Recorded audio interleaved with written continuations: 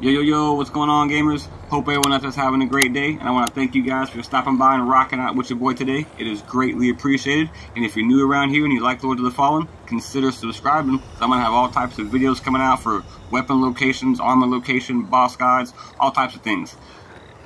But today's video is going to be real quick and simple. I'm going to be showing you where we can find the Pilgrim gear set.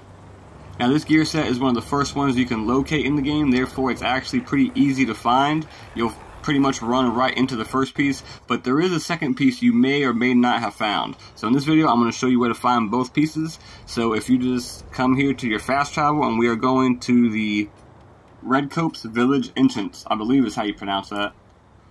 Alright, once we spawn in, we could bust this immediate left and just follow this path to the open area in which you will see a giant tree and hanging from the tree will be a gold glowing orb which we could just simply knock down and we could pick up the first two pieces of the Pilgrim set.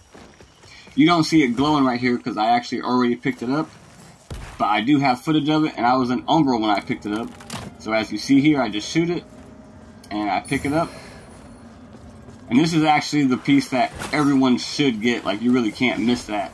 Now for the second piece, you just follow me up these stairs. Gonna bust this right. You'll see this enemy over here gazing off into the sun. We're just going to leave him alone. If you haven't been here before or yet, just come up here and hang this left and you can get another vestige point. And just follow me up here and we're going to go down these stairs to where all this water is. But we're actually going to use our lamp to enter the Umbral Realm. And when we do that, the water should clear. And we can just follow this path all the way to the end. Be careful though, because there will be enemies spawning behind you.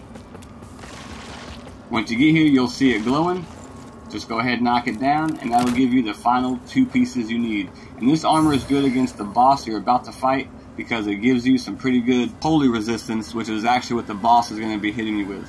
But that's going to do it for me in the video, guys. If I helped you out, drop me a like, consider subscribing. Until next time, see ya.